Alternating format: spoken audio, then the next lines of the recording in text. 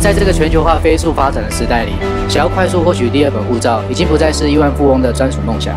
你有没有想过，最短能获得第二国籍的时间有多快？什么样的方式能够在不需要亲自访问的情况，就可以获得第二国公民权？你知道吗？东加勒比地区的英联邦五国常年评比为快速入籍榜单的前五名，每年数以千计的家庭携带着他们的财富加入加勒比和英联邦的公民身份。这不仅是因为这些计划为他们提供了一个远离政治风暴和经济不确定的避风港，更是为了这些岛国经济发展带来宝贵的贡献。但是，随着资金的涌入，也带来了问题。政策不一致、透明度不足，以及造成安全和边境的问题担忧。于是，西方两个重量级的玩家——美国和欧盟，决定向这些岛国伸出援手，提供资源，并在立法上予以新的认可。几年前，这些岛国一直倡导经济共同繁荣和维护区域的安全。在二零二四年三月，终于迎来了东加勒比成员国首次签署的谅解备忘录。目的让快速入籍计划遵照国际规范，迈向标准化、透明化和安全化。然而，当这份备忘录曝光时，原本应该团结一致的加勒比五国中，却有一个国家的总理没有签字，选择了站在边缘，缺席了与其他国家共同提升快速入籍计划的标准和可信度的大框架。在这期节目中，我将带你深入剖析这份备忘录的内容，了解第二国籍和身份规划的未来蓝图。如果你错过了这期节目，那你可能会错失了了解全球护照计划动向的机会。到底哪些护照会因此游走在失去欧盟免签的边缘？看完这期视频，我会带你清楚地预示美国、加勒比与欧盟之间的约定和合作，分析应该如何为自己与家人选择护照项目。更重要的是，我会告诉你哪些项目即将涨价、调涨多少，以及那些对加勒比护照感兴趣的你，应该在什么日期之前采取行动，为了你的全球身份迈出关键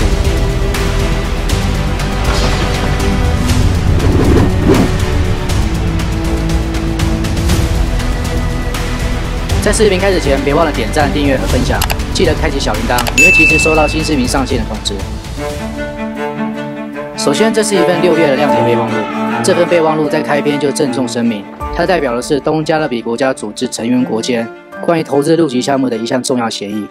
而这一切都是通过各国的总理亲笔签名得到了确定和认证。这份备忘录的宗旨和覆盖范围非常清晰，旨在搭建一个合作与信息共享的框架。专注于各方在投资通过公民身份项目中的交互作用，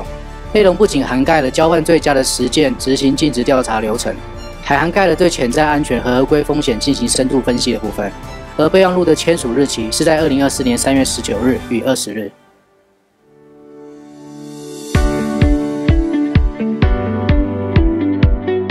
接下来，我们深入探讨备忘录的核心内容。所有参与方一致同意，根据2023年10月在美国佛罗里达州迈阿密举行的会议成果，共享有关投资入籍项目申请者的相关信息。而该平台仅对获得授权的参与方开放。这个重要的平台将由联合区域通信中心 （JRCC） 来建构和维护，而其为加勒比的一个子机构，主要职责包括为成员国提供情报收集与分析。每个成员国都承诺将提供相应的资金支持。进一步的，各方约定将采取更透明的措施，公开筹集到的捐款的财务状况，同时还将定期举行独立的财务和审计报告，包括将这些资金的使用情况上报各自的立法机构，确保所有快速入籍项目能够遵循和达到国际公认的最佳实践标准。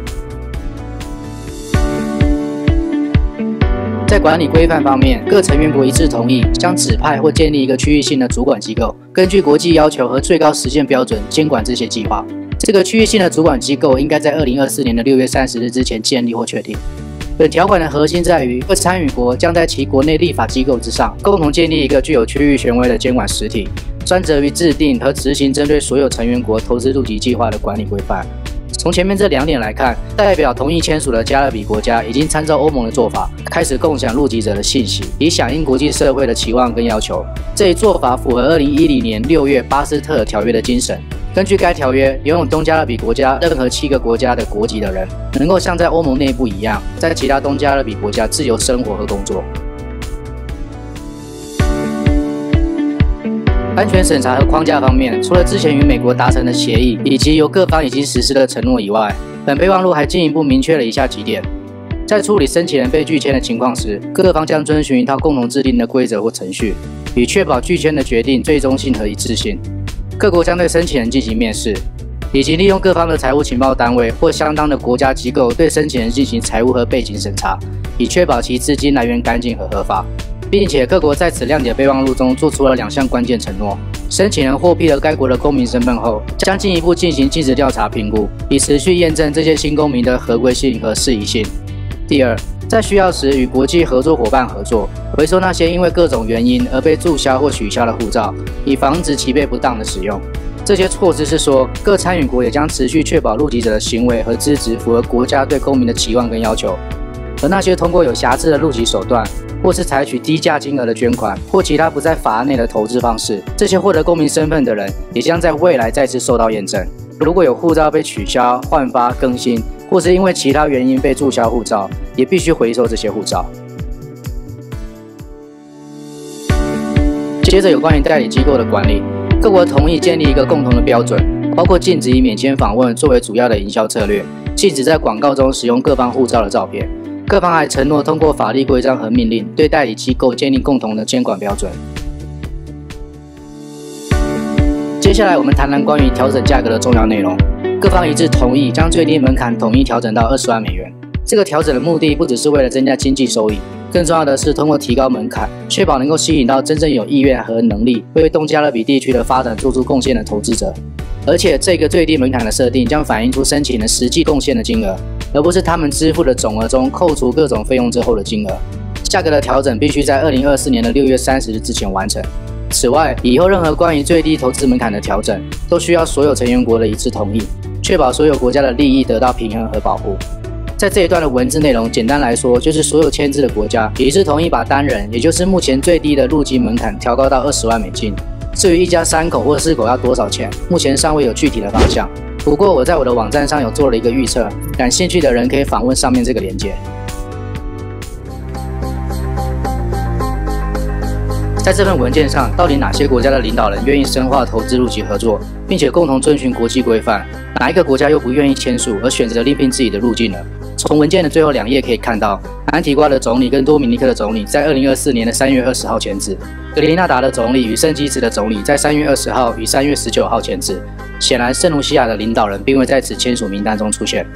其实原因很简单，根据权威报道，这跟圣卢西亚政府与盖勒斯集团之间的承诺有关。这个集团对外宣称，投资人需要满足二十万美元的投资额才能参与，但实际操作中却以远低于官方要求的金额吸引申请人，同时采用一些激进且充满争议的推广手段。即便在没有达到二十万美元的投资额的情况下，圣卢西亚移民局仍然向每位申请人收取三万美元甚至更高的政府费用，并与盖勒斯集团在中国大力推广此项目。圣卢西亚政府甚至给予了这个集团数千份的投资名额。目前这种做法已经引起了欧盟的关注。而根据这份谅解备忘录，圣卢西亚如果签字了，就必须终止这个计划，并且共享这些通过融资或低价入籍的人的名单。而且这些不在法案内的入籍方式，也将在未来面临被注销国籍而且回收护照的命运。所以，如果考虑稳定的身份配置，对于圣卢西亚的项目应该持有保守的态度，仔细观察移民局的动向后，做出谨慎的决定。